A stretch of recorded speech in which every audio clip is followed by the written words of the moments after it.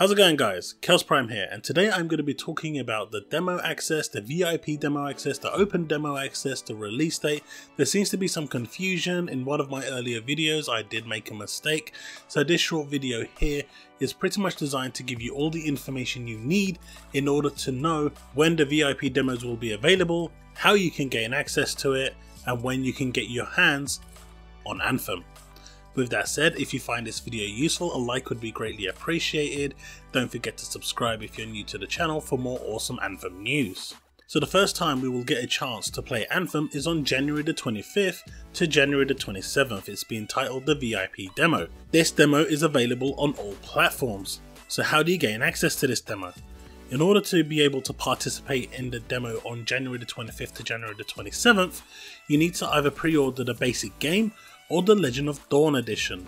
Alternatively, you need to have access to one of the two options, either Origin Basics or Premier for PC or EA Access for Xbox One. Just note that with EA Access, you will only have 10 hours of playtime. This is a limitation of EA Access and not of what BioWare is giving you, it's just a waste design.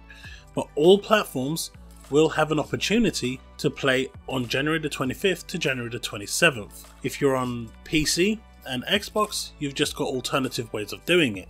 Additionally, if you are on EA Access for Xbox One, you will be issued additional codes via email in order to pass on to other friends so you can play together on the Xbox One platform. I'm not sure if this is the case for Origin Basics, but I would assume it's the same thing considering it is a EA run scheme.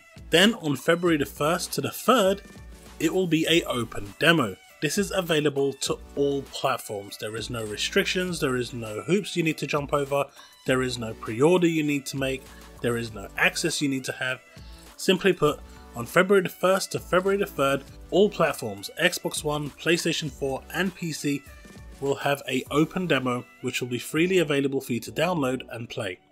So to reiterate, January the 25th to January the 27th, the VIP demo, in order for all three platforms to play this, they will need to either pre-order the basic game or the Legion of Dawn edition. If you are on PC or Xbox One, you don't have to pre-order if you have access to Origin Basics or Origin Premier, or if you're on the Xbox One, EA Access. Sony has opted not to go for any of these schemes, so they are exempt from this method. However, a week later, on February the 1st to February the 3rd, well less than a week to be fair, it's four days later, you will have access to the open demo anyway. Bear in mind while playing the demo, all data will be wiped. You will be starting the demo at level 10, so it gives you access to three or four of the activities that you can actually take part in.